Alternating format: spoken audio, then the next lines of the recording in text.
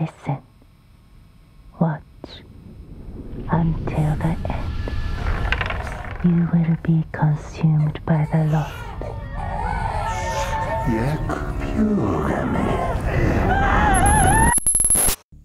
Once you've watched this tape, you're cursed, and you know bad things are going to happen. You will die unless you follow these instructions. What what instructions? You think you're going to live until you're 75, and um, suddenly you're told, no, you've got seven days to live. But you might not if you can sort it out. You've got one hour. One hour! No, I can't, I can't. I can't, again, I can't. Stop climbing! Or I'll throw you in and shut the lid! I've been waiting